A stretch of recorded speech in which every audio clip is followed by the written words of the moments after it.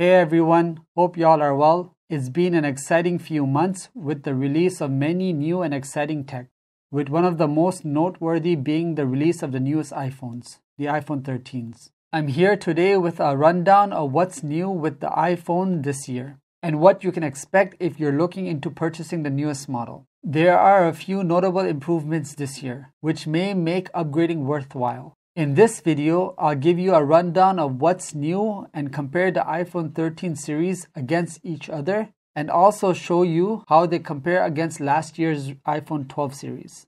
There are four major improvements that Apple has made. The first being the new processor, the A15 Bionic chip. Apple upgrades this annually and it unlocks new features such as cinematic mode when taking a video. This is basically called rack focus, which means your iPhone would automatically shift focus from one subject to another. It is a feature which is generally used in movies to guide the audience's attention.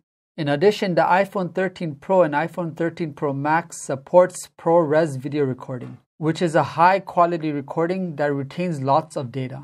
This allows for more flexibility when doing post production work. Most people may not find this useful as it eats up a lot of memory. However, it would come in use for video editors and content creators. Another improvement in the new iPhones is the screen. The iPhone 13 and 13 mini have also gotten a slight improvement in their screens.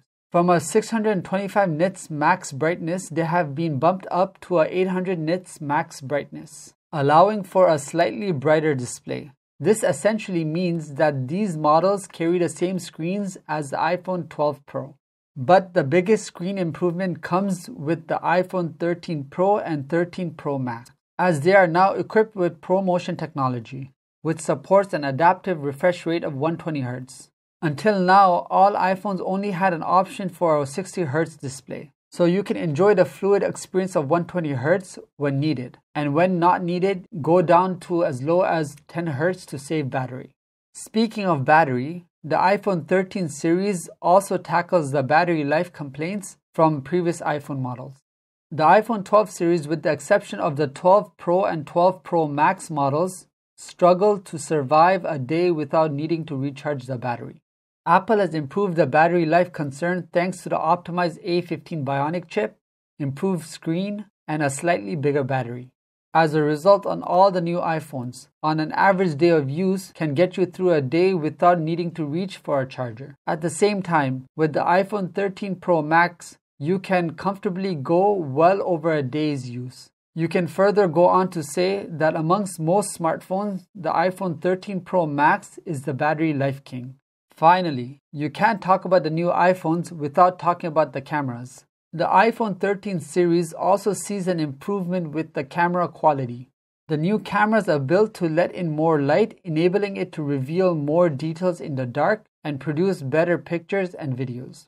As a result, it is able to deliver one of the best and most consistent results from any smartphone camera in the market.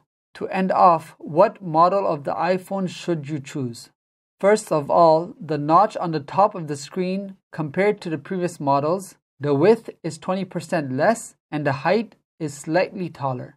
Personally, the difference is negligible to prefer the new iPhones versus the last year models. If you have to choose, then one comparison can be made is the iPhone 13 would be better than the iPhone 12 Pro, which would be better than the iPhone 12. For most people, the main reason to get the Pro models is because of the higher refresh rate and better battery life.